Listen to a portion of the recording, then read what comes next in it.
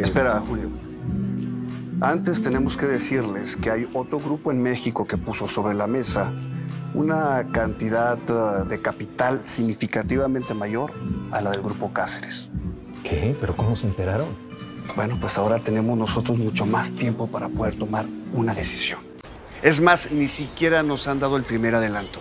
Pues es que las puedo dejar aquí porque están, están medio. No es seguro que se queden aquí en la ciudad. Me vale madres, cabrón. Esa es tu chamba, ¿no? De protegerlas. Así que no me vengas con chingaderas, Nancy. A ver, pásamelo. ¿Tú también tienes uno de esos? Lo que pasa es que ahora ya ando choferiando en Uber.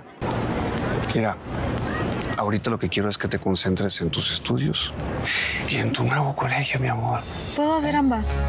Bueno, pues échale ganas, porque ya no hay ninguna otra escuela para ti. Yo sé que esto es muy delicado, pero honestamente la orquesta ahorita necesita de ti y de tu decisión. Pero si no te sientes bien y seguro de continuar, no te preocupes. Ya estuvimos informando a su esposa sobre el caso. Ah, es mi mujer porque también está detrás de mi dinero. ¿Cómo? Te estoy hablando. ¿Cómo que cómo creo? Sabe que yo no quiero tener ningún problema con usted. Ah, no quieres ningún problema. Entonces, ¿por qué chingados te estás metiendo con viejas casadas, eh?